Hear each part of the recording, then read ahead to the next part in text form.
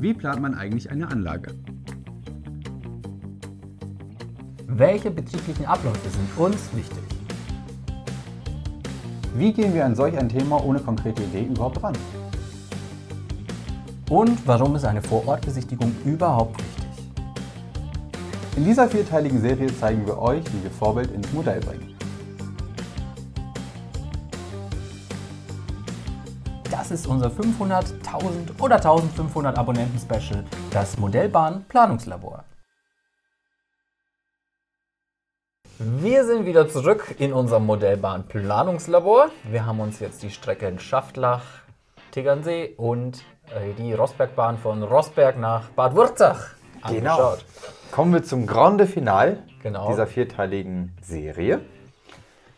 Und was wir jetzt eigentlich machen? Ja, jetzt müssen wir uns entscheiden. Also, Ich glaube, wir sind entschieden unentschieden, wir oder? sind entschieden, unentschieden.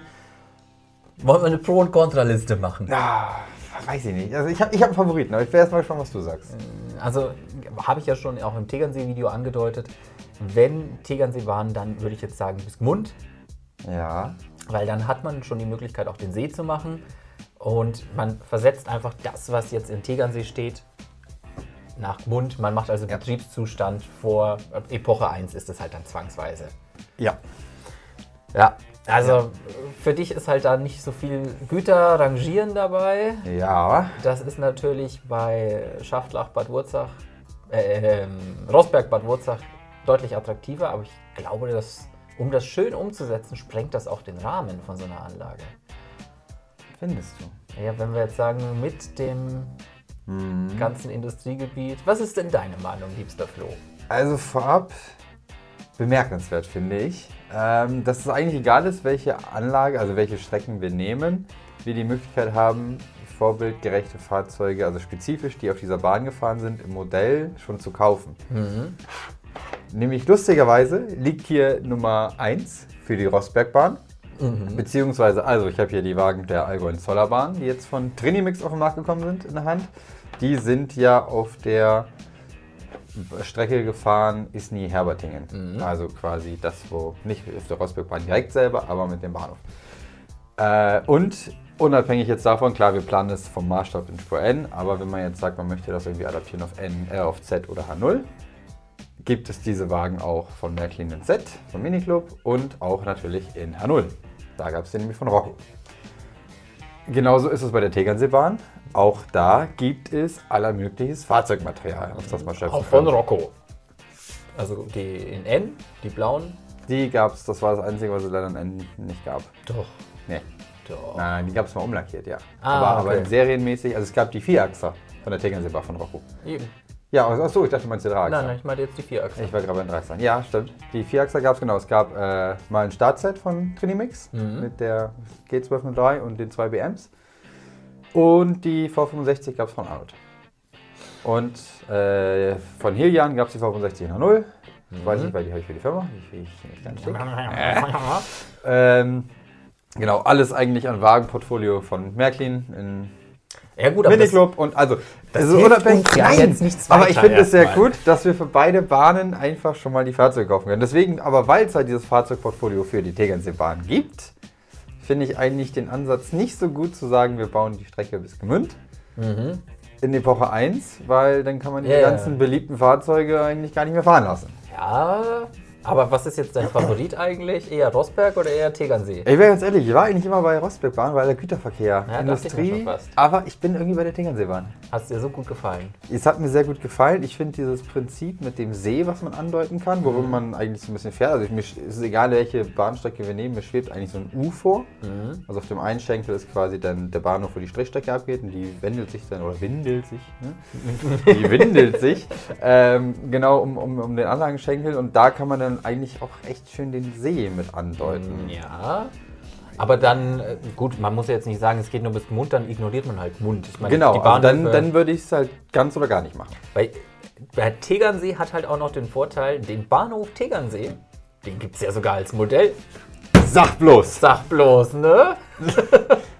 Sagen wir nochmal Dann- von wem, aber das wusste ich nämlich gar nicht. Echt? Also ich, Äh, ich habe es mal gehört, aber ich habe... vom Oswald. Ah, ernsthaft? Ja. in. Äh, dann gibt es den ja auch in Z, N, Den H0, gibt's in TT, allen den gibt's in Spurweiten. allen Spurweiten. Dann muss jemand nur noch Schaftlach machen. Ha, wer könnte das wohl machen? Hm, Wer könnte wohl einen Lasercut-Bausatz Ah, machen? Wer könnte wohl sowas machen? Wer könnte wohl einen Lasercut-Bausatz Okay, gut. Also, bist du jetzt vom bayerischen Voralpenland überzeugt? Ja, also das ist nicht wirklich stringent mit dem, was wir hier auf der Liste haben. Naja, gut, wir haben Weil wir Bayern, haben- kleines Dörfchen. Genau, ja, für Tegernsee Ah. ist das ein kleines Dörfchen. Aber wir können da eigentlich ja, rangieren. Also Güterverkehr können wir eigentlich schon mal ausschließen. Ja, hast vielleicht mal einen äh, Postwagen. einen Postwagen, einen Gehwagen, den du da immer einen Güterschuppen da dann abstellen kannst. Aber richtig rangieren kannst du da halt nicht. Du hast auch einen BW. Aber es ist alles so verschnörkelt, ramontisch, sage ich immer. Also eigentlich, ich bin bei der Tegernseebahn. Okay, ja, also hat man vielleicht in der ersten Folge auch schon gemerkt, dass es Schaftlach hat mich schon auch ziemlich angetörnt. Allein wenn Da, man, das habe ich äh, ehrlich gesagt wirklich gar nicht verstanden. Jetzt, wo wir uns das angeguckt haben, habe ich es wirklich nicht verstanden. dass es mich antörnt. Ja, nee, das ist, ist, ist ich fand es da relativ Nein, nein, nein. eigentlich. Für mich äh, Schaftlach, Tegernsee, also die Strecke, die Ja, hat mich okay. am meisten eigentlich. Der Bahnhof Schaftlach jetzt Ja, eben, genau. Am Bahnhof Schaftlach war halt einfach, fand ich sehr sexy, wo wir jetzt auch da waren.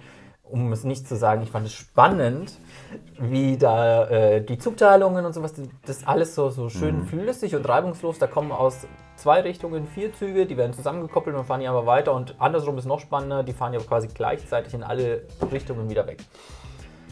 Ich, ich glaube auch gerade, was du gesagt hast mit diesen Kurswagen, das ist auch eine, eine schöne Sache im Modell. Das kann man super Und nachstellen. genau, also gerade die, die ganzen Personenzüge der Tegernseebahn, wo damals, wo sie auch umgestellt haben und die, die Umaufjagds immer weiter rausgeflogen sind, wir sind ja auch bis München gefahren, alles, Mhm. ganzen Wagenparks, der, der war auch mal bunt. Ja. Und äh, ja, in, bei der Rostbergbahn müssten wir eigentlich von der Zeit lange zurückgehen, damit man da nochmal wirklich den Personenbetrieb zeigen kann im Modell. Wäre Ja. dann halt wieder eher so eine Epochen-3-Anlage. Der ist halt nichts, ne? Also da ist halt. Also ich finde den. Bahnhof Rosberg geil. Der, der hat eine, eine schöne Form an sich, gerade auch mit, mit der Ausfahrt, mit dem äh, Anschluss. Ähm, aber auch wenn du das stringent durchziehst, also 78 haben wir ja den Gleisbahn von Rosberg gehabt, da gab es diesen Gleisanschluss von Kieswerk noch gar nicht. Mhm. Da in dem Zeitraum ist aber eigentlich auch der Personenverkehr schon wieder eingestellt worden. Also du limitierst dich da, wenn du es ganz stringent durchziehen willst, eigentlich auch wieder in den betrieblichen Möglichkeiten. Okay, das heißt, wir planen Die ein Tegernseebahn. U mit der Tegernsee. Machen wir das? Ja, also Wir planen die Tegernseebahn. da bin ich dabei. Sehr gut. Jetzt die Frage, wie gehen wir das Thema an? Genau, also Wir haben uns entschieden, das ist schon mal viel wert, aber das ist viel äh, wert. Das heißt, wir können jetzt hier das ganze Zeug wegtun. Das- Nein, das lassen wir jetzt einfach da. das Das ist jetzt Reminiszenz. genau ein Andenken. Jetzt ist ja die Frage, also was wir natürlich nicht machen können, ist diese ganzen. Du willst wahrscheinlich, nehme ich mal an, so in den 80ern ungefähr. Weil da war es noch schön bunt.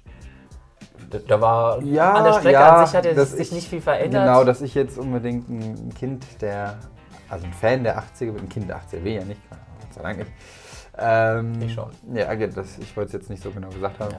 Äh, das ist, wie man so schön sagen, kein Geheimnis und auch angemessen an den Fahrzeugmaterialien, die Mhm. du kaufen kannst, macht es, glaube ich, nur Sinn.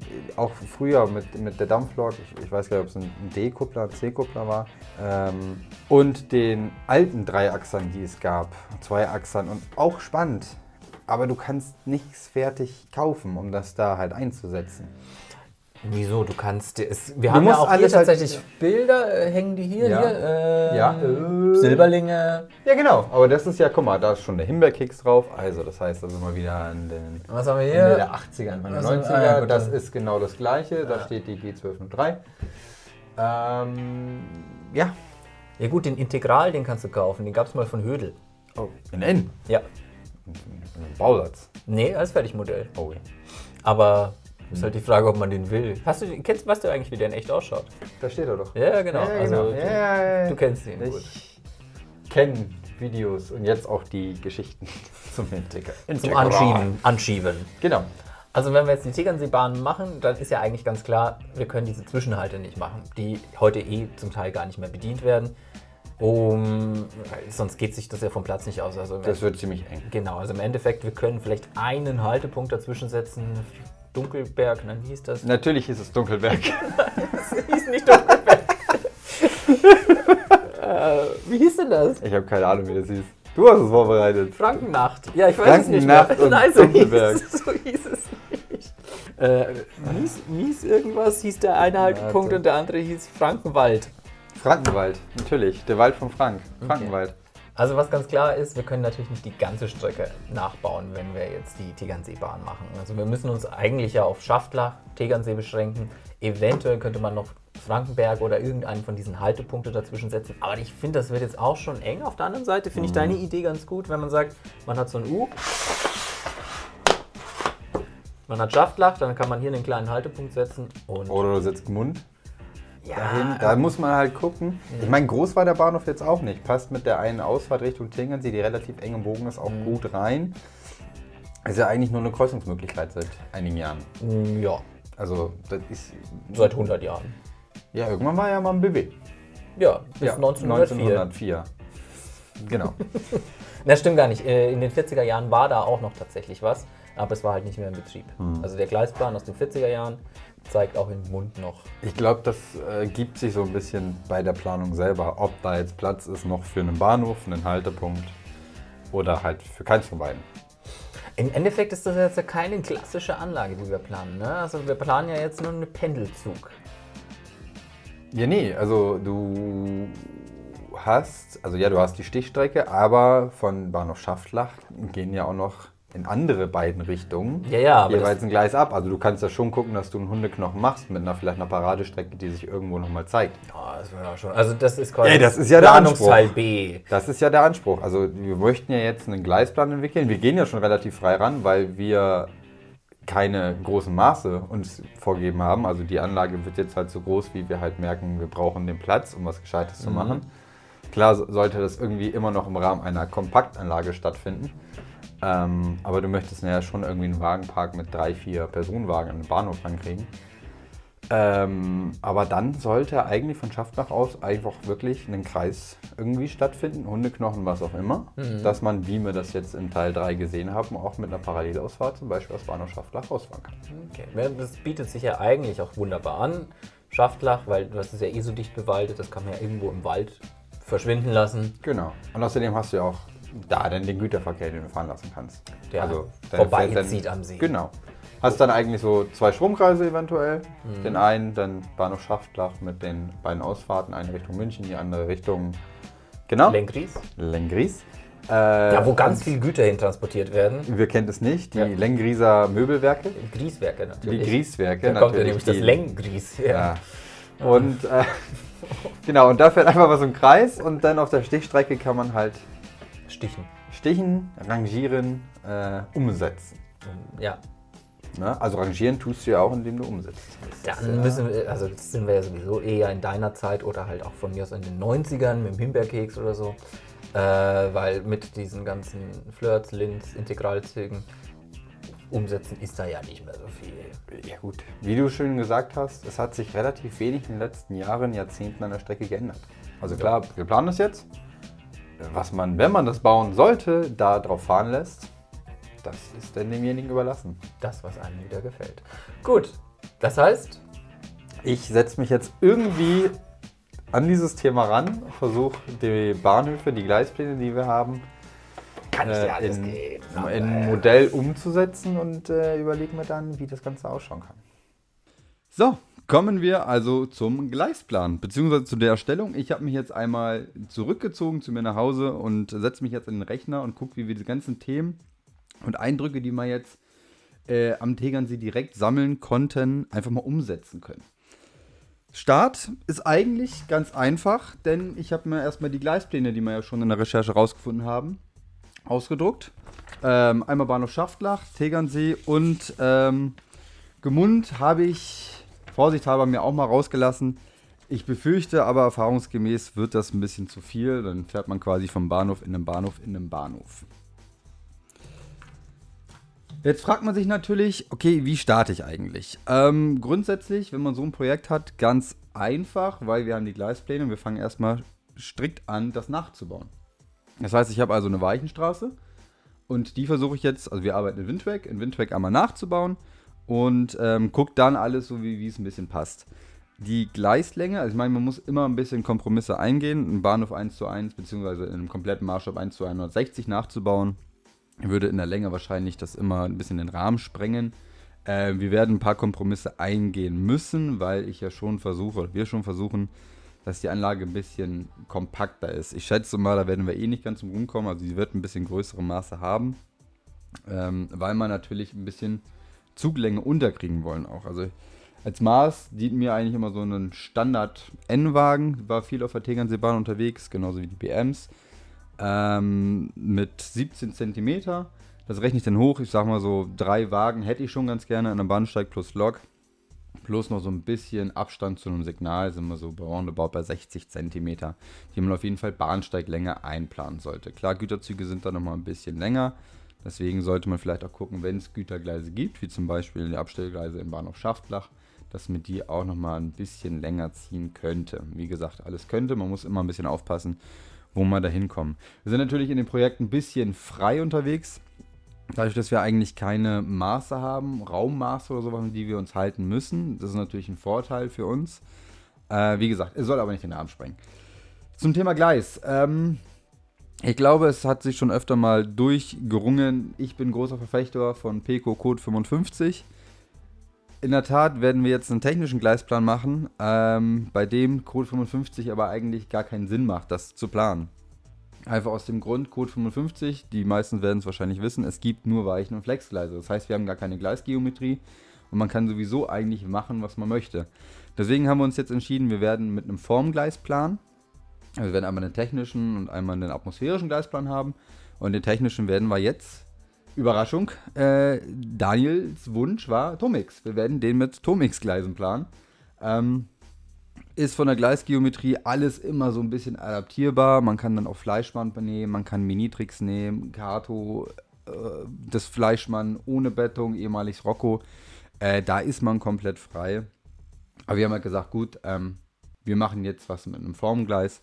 Macht es vielleicht für den Nachbau, wenn irgendjemand sich mal erwärmen sollte und sagt, er möchte die Anlage bauen macht es dann auch ein bisschen einfacher.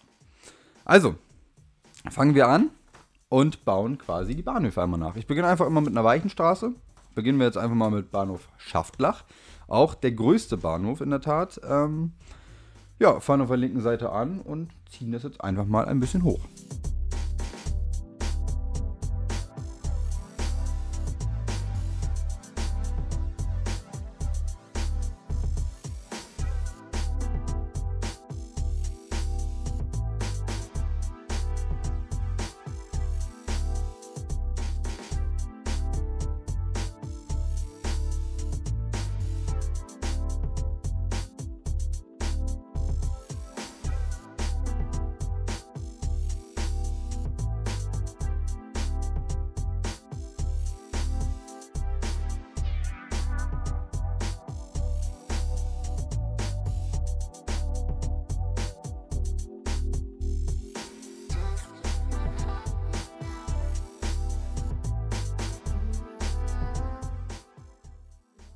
So, die beiden Bahnhöfe sind jetzt einmal nachgebaut in Windtrack. Hm. Wir haben ja immer schon mal so ein bisschen durchsickern lassen. Wir können uns ein U ganz gut vorstellen. Ähm, einfach auch aus dem Grund, man hat den Bahnhof Schaftler auf der einen Seite, den Tegernsee-Bahnhof auf der anderen Seite, um einfach diese Stichstrecke auch einfach ein bisschen Raum geben zu können, aber das auch räumlich ein bisschen abtrennen zu können. Deswegen habe ich jetzt einfach mal die beiden Bahnhöfe nochmal gedreht um 90 Grad jeweils. Und genau, Bahnhof Schaftlach auf die linke Seite gesetzt und Bahnhof Tegernsee auf die rechte Seite. Und jetzt geht es eigentlich darum, irgendwie zu gucken, gut, streckentechnisch, was für Verläufe haben wir, äh, beziehungsweise was möchte ich dann irgendwie haben. Wichtig ist mir eigentlich immer, dass, ähm, also wir haben jetzt beide Bahnhöfe im 90-Grad-Winkel. Wichtig ist mir immer, dass man gucken, dass man die Bahnhofsanlage oder das Gleis an sich ein bisschen asynchron zur Anlagenkante baut, dass man das so ein bisschen aufbricht. Mal funktioniert es, mal funktioniert es auch nicht. Gibt uns aber zum Beispiel, wenn wir jetzt sagen, wir setzen Bahnhof Schaftlach einfach ein bisschen in einem anderen Winkel, uns den Raum, die südliche Ausfahrt ein bisschen in einem Bogen anders zu gestalten. So, also Bahnhof Schaftlach ist jetzt einmal, ich glaube, um Grad 10 Grad einmal ein bisschen geneigt. Und jetzt könnten wir zum Beispiel sagen, wir gehen südlich raus mit einem Gleisbogen, der dann irgendwo in einem Tunnel zum Beispiel verschwinden wird. Haben wir also jetzt Bahnhof Schaftlach einmal in den Bogen eingefügt im südlichen Teil ähm, und da soll die Strecke dann einfach in den Untergrund verschwinden. Logischerweise macht es Sinn, hier über einen Schattenbahnhof nachzudenken. Der wird auf jeden Fall irgendwo eingeplant. Ähm, ich würde jetzt allerdings in der Tat erstmal anfangen mit dem sichtbaren Bereich. Also wo kommen wir jetzt quasi vom Bahnhof Schaftlach in was für einem Ausmaß und was für einen Gleisbögen zum Bahnhof Tegernsee. Weil wir ja vor Ort gesehen haben, wir haben relativ viele Gleisbögen, die aufeinandertreffen. Die Strecke ist eigentlich alles außer gerade. Ähm, genau, und das versuchen wir jetzt in dem Teil irgendwie ein bisschen nachzubauen.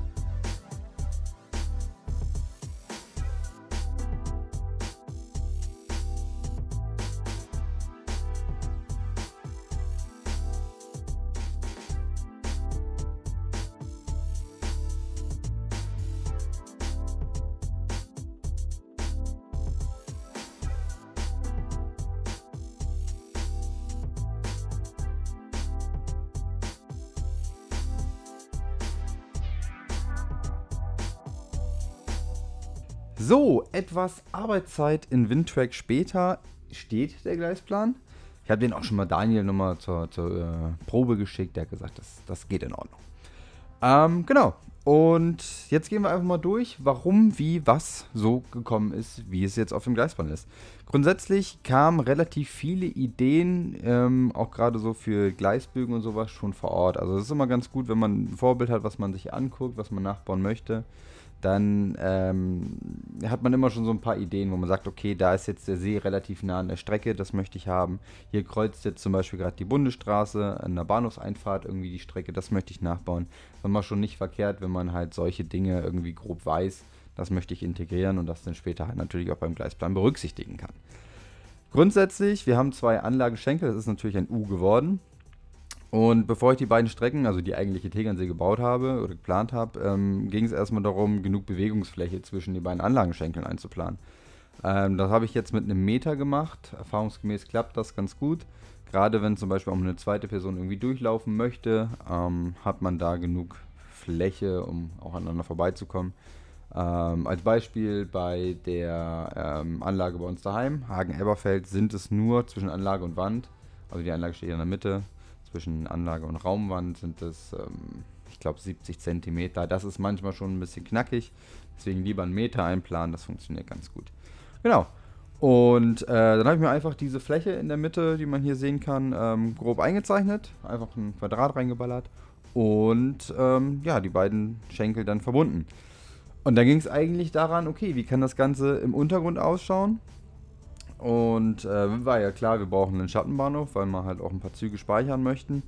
Ähm, mir ist dann aber relativ schnell in der allerersten Idee so aufgefallen, wie ich das verbunden habe. Ich möchte eigentlich noch eine Paradestrecke haben für die Strecke, die von Schaftlach, also den Rundkurs, die abgeht.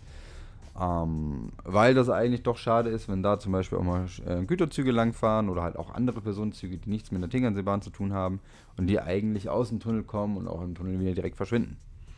Deswegen habe ich jetzt gesagt, gut, ähm, das ist nicht ganz vorbildgerecht, aber da, glaube ich, ähm, überwiegt das Auge dann doch ein bisschen, weil es von der Komposition ganz gut passt. Ähm, haben wir einmal eine Paradestrecke, die überhalb der Tingenseebahn liegt und wo dann auch nochmal jeweils ein fahrender Zug beobachtet werden kann, der auf der Schaftlach-Rundstrecke unterwegs ist.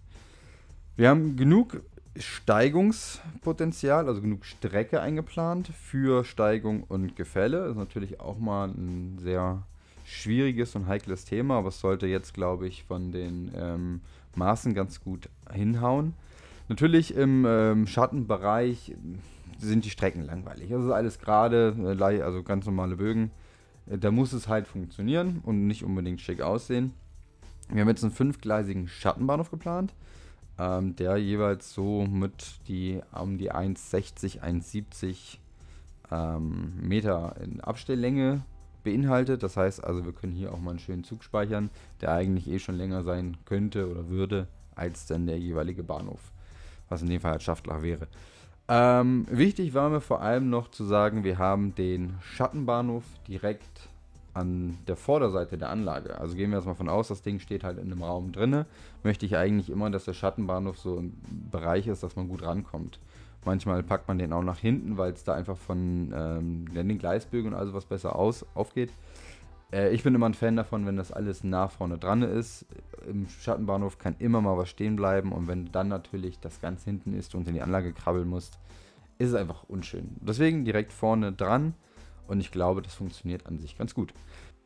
Im Bahnhof Schaftlach in der südlichen Ausfahrt wäre jetzt noch die Möglichkeit, ein bisschen weiter zu denken. Also wir haben da jetzt aktuell ein Stumpfgleis, ein ganz normales Ausziehgleis und halt ein, ja, auch ein, Stumpfgleis, was glaube ich mit einer Ladestraße mal bedacht war. Da wäre jetzt die Möglichkeit zu sagen, okay, man, man geht irgendwie noch ein bisschen weiter, plant einen Industrieanschluss, macht das ein bisschen freier, das Thema. Ähm, da im Original da nie sowas gewesen ist, habe ich das jetzt einfach mal rausgelassen. Aber wenn man halt rückblickend sagt, okay, wir wollten eigentlich auch noch ein bisschen güterverkehrmäßig rangieren, könnte man da halt noch aktiv werden und einfach sagen, gut, ähm, da kommt jetzt noch irgendwie eine Beiwa hin oder halt auch wieder ein Kieswerk, irgendeine Schotterverladung, irgendwie ein Tanklager. Da ist man ganz frei. Ähm, genau, also die platztechnisch wäre die Möglichkeit da. Ähm, da es im Vorbild aber nicht vorgesehen war, werde ich da auch jetzt in diesem Gleisplan drauf verzichten.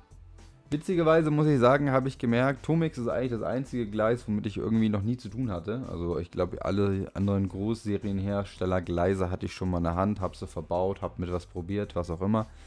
Deswegen war es vielleicht jetzt auch nicht unbedingt die schlauste Idee zu sagen, ich nehme das Tomix-Gleis, weil ich von der Gleisgeometrie und äh, gar keine Ahnung hatte und auch nicht wusste, okay, welche Gleisbögen passen jetzt zum Beispiel irgendwie in Weichenstraßen, was funktioniert da.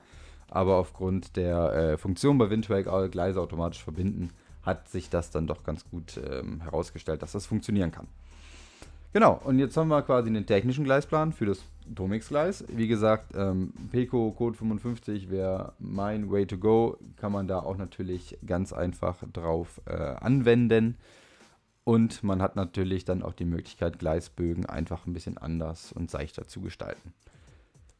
Jetzt kommt der atmosphärische Gleisplan. Das heißt, äh, das, was wir jetzt technisch haben, muss jetzt irgendwie nochmal ein bisschen aufgepeppt werden. Weil ich habe jetzt eine Vision vor Augen, wie das Ganze ausschauen könnte, wenn man es baut.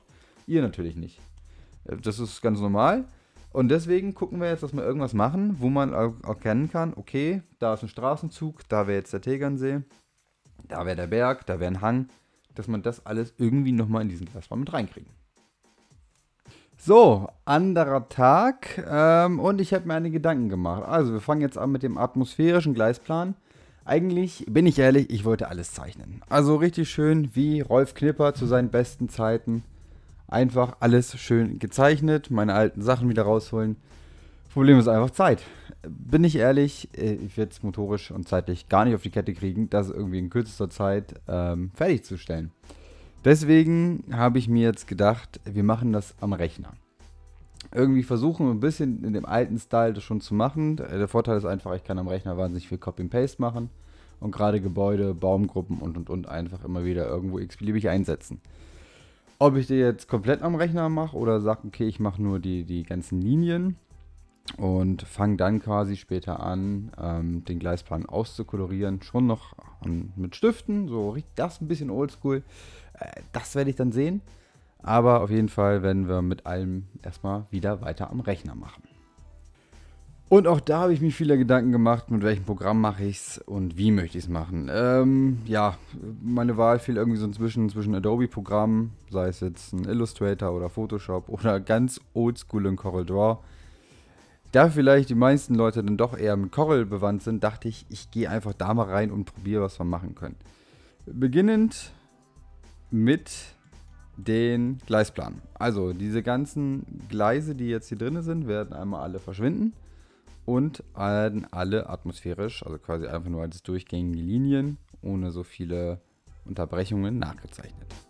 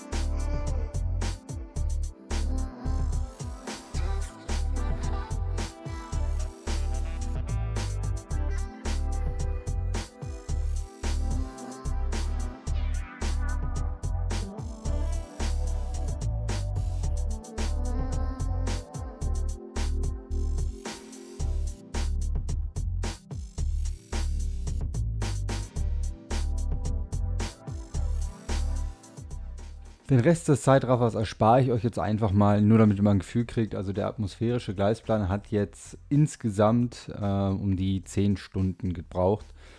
Ähm, ich könnte natürlich jetzt auch alles reinhauen an Zeitraffer, dann wären wir aber alleine bei 8000 Fahrgeschwindigkeit. Ich glaube immer noch bei 10 Minuten. Es sprengt ein bisschen den Rahmen, deswegen skippen wir das jetzt einfach und ich sage mal ganz kurz, wie wir da jetzt weitergemacht haben. Also ihr habt ja noch gesehen, wie wir den Gleisplan jetzt erstellt haben. Und dann ging es eigentlich weiter mit den Verkehrsflächen. Also wo kommt eine Straße hin? Ähm, ich war ganz viel bei Google Earth und Maps unterwegs, um zu gucken, okay, wie sind die Straßen eigentlich wirklich vor Ort? Ist natürlich dann logisch, wenn man sagt, man hat einen Gleisplan, den man nachbauen möchte von einem Bahnhof, dann auch zum Beispiel einen Bahnübergang. Ähm, ist jetzt in Schaftlach genau der Fall gewesen, dann an der einen Bahnhofsausfahrt nachzubauen und auch die, die Straßenbögen so ein bisschen mit aufzunehmen. Ähm, dann ging es eigentlich weiter mit den ersten Gebäuden, beziehungsweise die eigentlich wichtigen Gebäude, also ein Bahnhofsgebäude, die sollten maßstäblich natürlich reinpassen. Da habe ich auch gerade bei Bahnhof Schaftlach gemerkt, oh, okay, wir haben den Bahnhof schon ganz schön gestaucht und es wurde ziemlich kritisch, den auch noch unterzukriegen in den originalen Maßen. Es hat dann aber Gott sei Dank noch ganz gut gepasst.